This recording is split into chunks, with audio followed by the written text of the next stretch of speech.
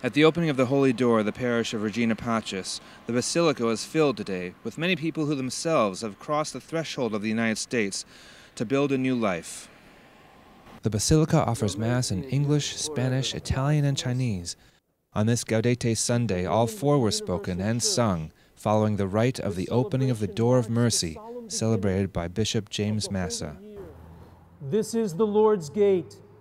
Let us enter through it and obtain mercy and forgiveness. I think mercy means the same thing for every community once they understand it.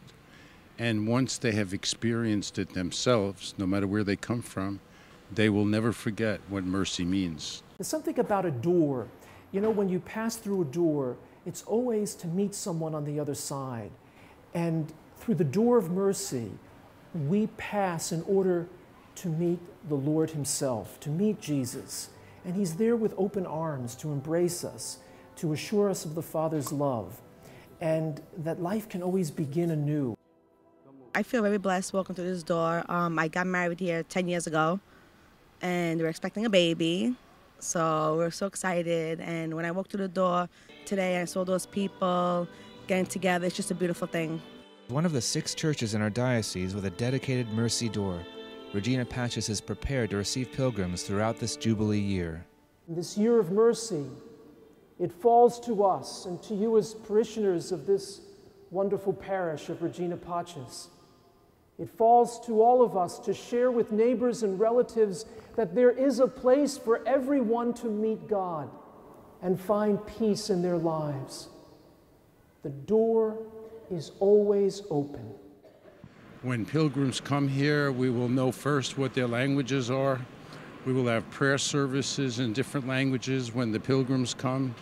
We have the holy cards that DeSales printed for the diocese in different languages to give them.